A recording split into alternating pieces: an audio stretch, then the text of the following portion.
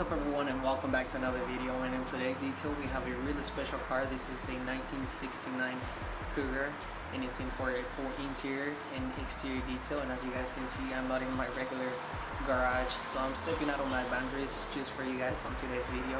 So it's gonna be a little different but bear with me and I will try to get as always the best shots for you guys and get an amazing transformation of this car as you guys already saw from those clips it's in a really bad condition so we're gonna try to get it into the best condition we can. And before doing that make sure to subscribe to the channel. Click on the notification bell if you don't want to miss any future videos like this. And now let's get detailing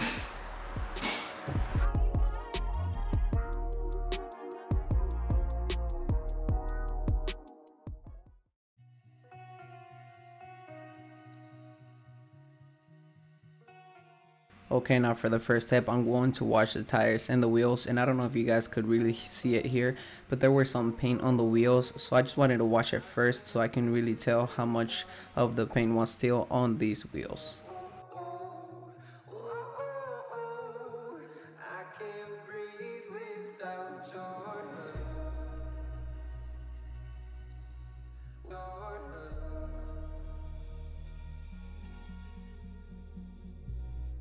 So now having all the wheels clean, I could really see now how much paint was still remaining. So I went ahead and used an adhesive remover and let it sit there for a few seconds and then use the pressure washer to remove the remaining paint.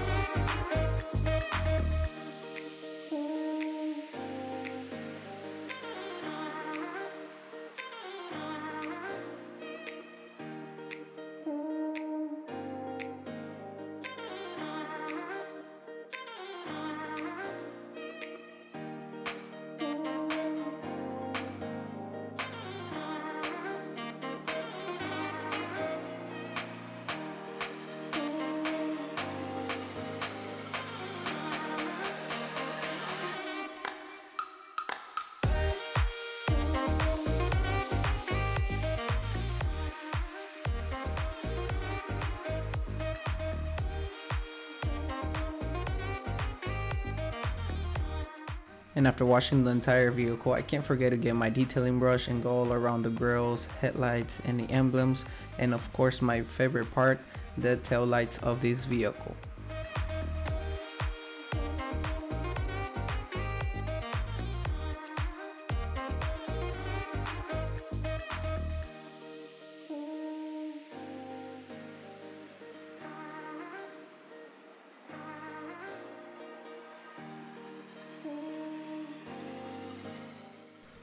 Alrighty now this is the part where I tell you guys why this car did not have the hood or why they couldn't take it to my garage.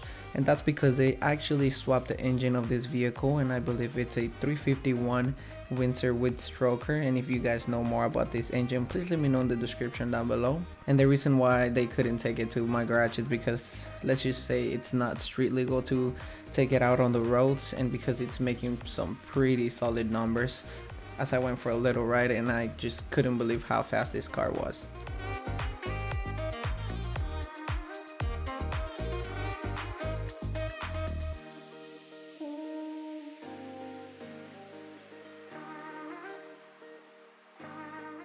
Alrighty, now moving into the interior, and I think this is a first where I only took parts out of the vehicle instead of just the regular things that we see in a regular detail. And that's because, like I mentioned before, they swapped the engine and also a few parts as you guys can see.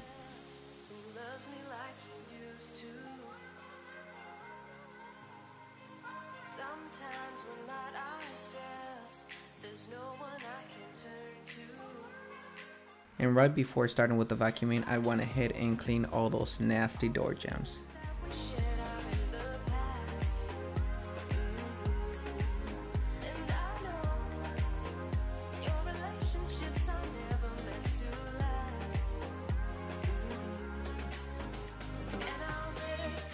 And now starting with the vacuuming and one thing that I can say is that I really really love the carpets on old cars because as you guys can see it's just really easy to vacuum even though I just gave it a few more passes because like I said it had not been cleaned in a lot of years so I just made sure to have them all clean and ready to be extracted.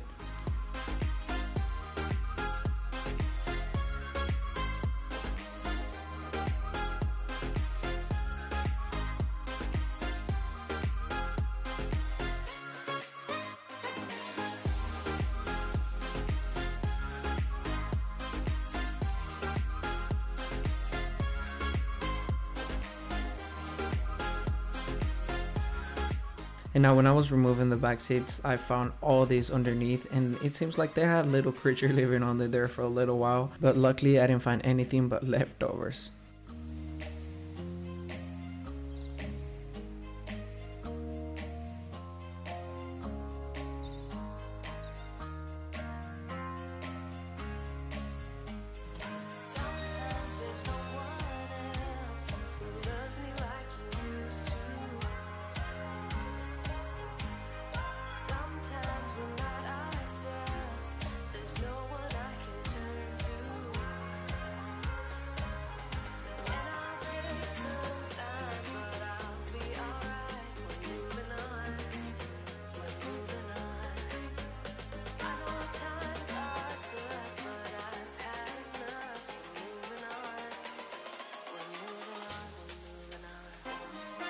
And uh, here you can tell just how long they had it sitting just there as just by vacuum and it was changing color as I was taking all that layer of dust.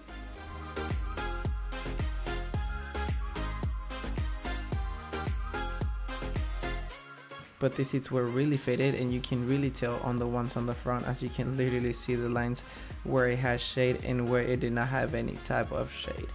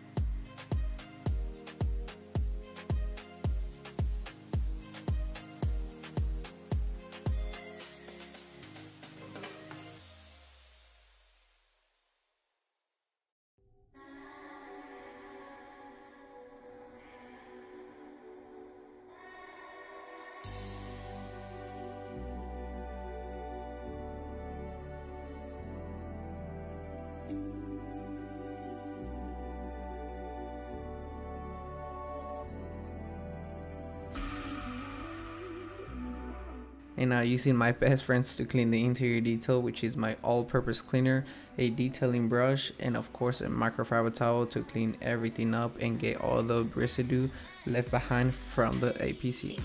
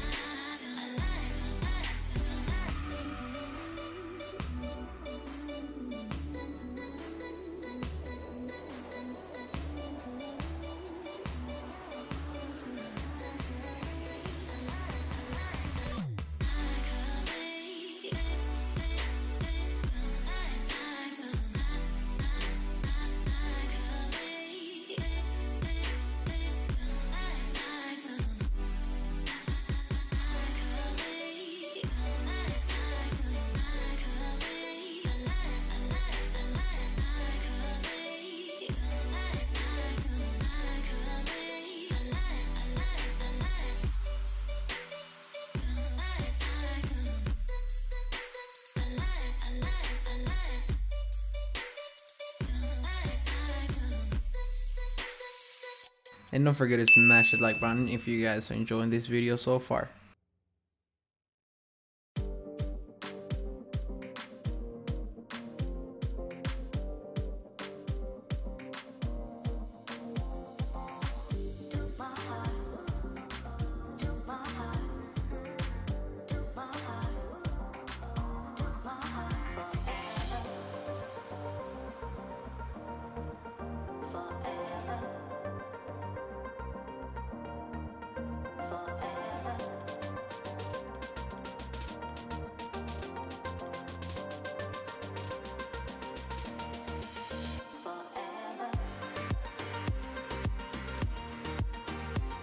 Alright, and I know how much you guys enjoy these with real time and sound, so I hope you all enjoy.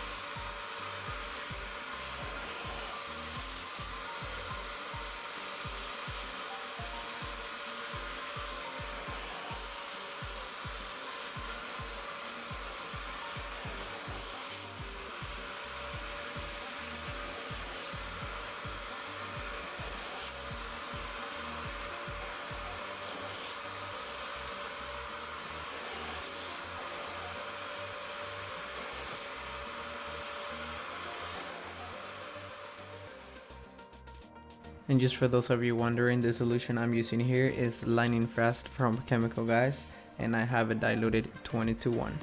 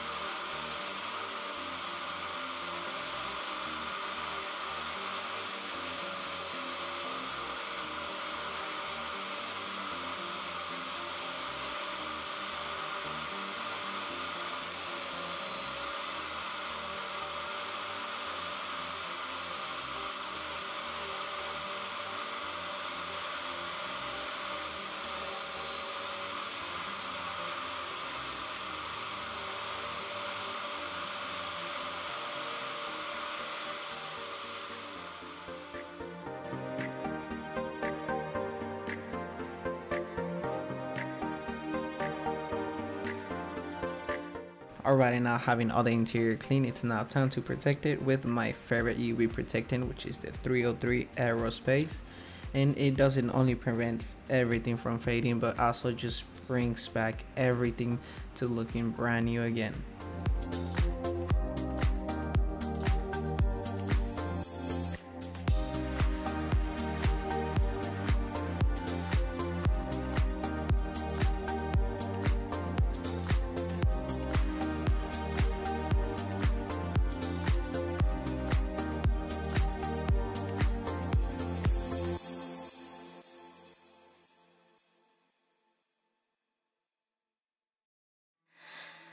boom.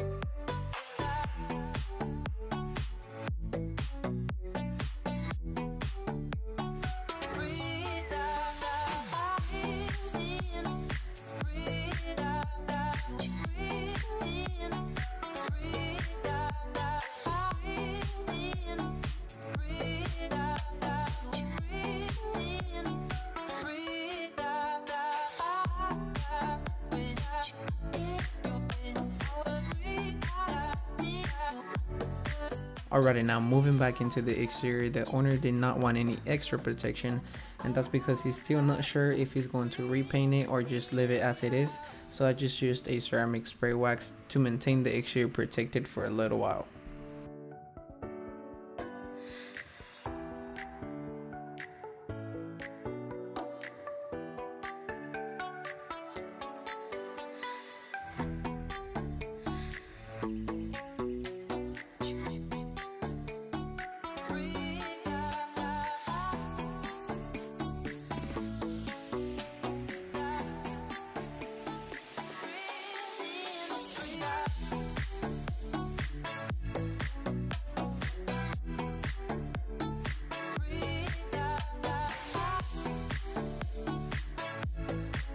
Alrighty now to revive these tires and bring the shine back I'm using Rebel Rubber which is a water based tire dressing and you won't have that greasy look.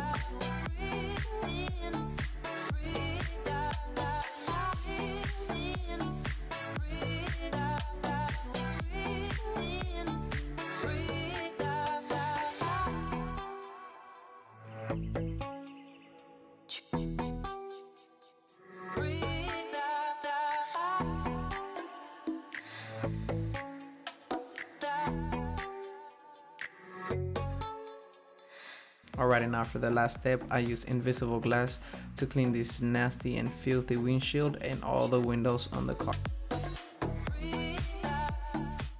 Alrighty now this video has finally come to an end and if you guys enjoyed it make sure to smash the like button, leave a comment down below and subscribe to the channel and I'll see you guys on the next one.